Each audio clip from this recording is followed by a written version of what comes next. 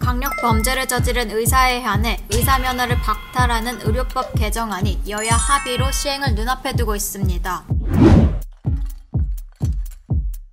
그런데 해당 법이 국회를 통과하면 총 파업은 물론이고 코로나 백신 접종 협력도 중단하겠다고 최대집 의사협회장이 얼음장을 놓고 있는데요.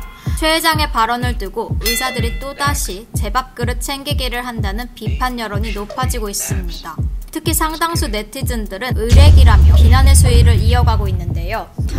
여야는 최근 살인, 강도, 성폭행 등 금고 이상의 형을 받은 의사 면허 정지 및 취소하는 의료법 개정안에 합의하고 국회 상임위를 통과시켰습니다. 하지만 최대집 의사협회장은 개정안이 국회 본회의를 통과하면 의사들 총파업도 불사하겠다는 입장을 밝혔는데요. 최 회장은 특히 이달 말부터 시작되는 코로나 백신 접종에 의사들이 협력하지 않겠다는 뜻도 내비쳤습니다. 이 같은 사실이 알려지자 지난해 의대 정원 확대에 반대한 의사들이 파업을 한 데 이어 국민 보건의료를 볼모로 또다시 파업 운운한다는 비판 여론이 커지고 있습니다.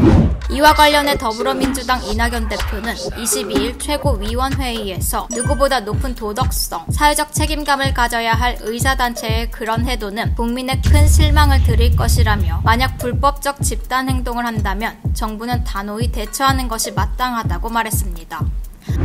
이어 의협이 코로나19로 고통받는 국민 앞에서 백신 접종 협력 거부를 말하는 것은 국민의 동의를 얻기 어려울 것이라고 말했습니다. 이포커스TV 김지수 기자입니다.